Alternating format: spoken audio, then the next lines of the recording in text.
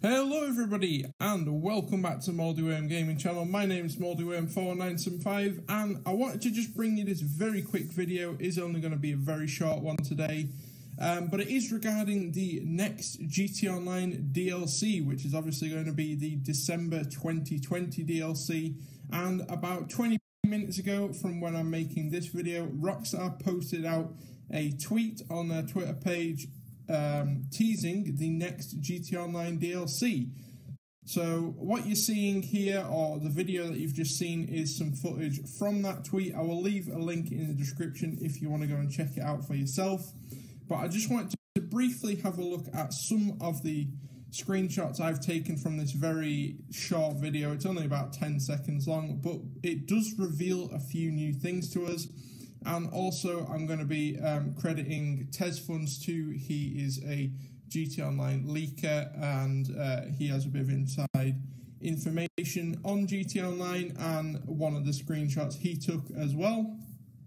So let's first start with what has been happening over the last week in GTA Online and what actually got added today um, on Thursday and it is this body that is lying on the beach. It has been found in multiple locations along the Vespucci Beach area, and uh, you can check this out for yourself in GTA Online. This is just a screenshot I found on the internet, but this body does also appear in the teaser video that Rockstar uh, put out on Twitter, and this body appears to be John Doe, so basically unidentified.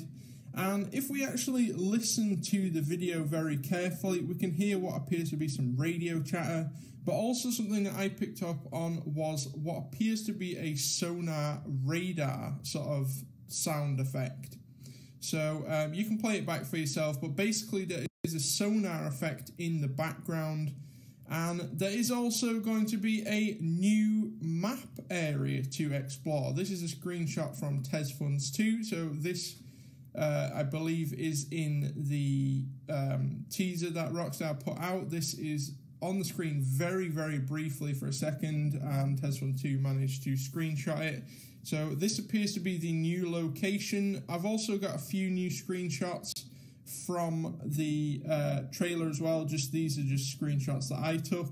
And you can see that some of these locations I think are in GTA Online, but some of them are very clearly not in GTA Online. Some of these are completely new locations that don't, as of this time, exist. So that basically confirms that we are going to be getting a map expansion in GTA Online this December, which is really, really exciting.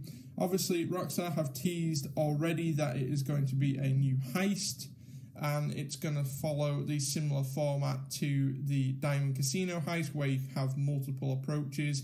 But going back to the whole sonar thing and obviously the island, this actually has me very excited because it means we might see some new boats in GTA Online, which I'm sure for a lot of you is not that exciting. But those of you who follow the channel or know me at all know that I really like boats. Um, it's kind of an unpopular opinion, but I feel like the lack of boats in GTA Online is something that hasn't really been properly addressed. So we might actually see some boats in this DLC, which is kind of interesting. I don't think Rockstar have added a new boat for a very long time. Um, so possibly we might see boat customization. That would be something that's really cool. But it does give us more of a reason to drive boats in GTA Online because now we can actually sail to this map expansion. Now, nobody knows yet where exactly this new part of the map is going to be located. So whether it will be near Vespucci Beach, whether it will be at the top of the map near Paleto Bay, nobody actually knows that yet. So as soon as I see any information or hear anything about that, I'll do another update like this. But yeah, just wanted to put out this very quick video. Hope you did find it useful. If you want to check out the uh, Twitter that Rockstar put out, I will leave a link in the description to that. Not very much information here, but it is kind of interesting, and we are getting ever closer to that GTA Online DLC. So, fingers crossed, it's going to be a really good update. I'm looking forward to it. I'm going to be covering it when it does release here on the channel. So if you want to see uh, some day one gameplay, I'm going to be doing a $70 million spending spree. Um, then make sure to subscribe and like the video if you enjoyed. But that's going to do it for me. Thanks all so much for watching, and I'll see you in the next video.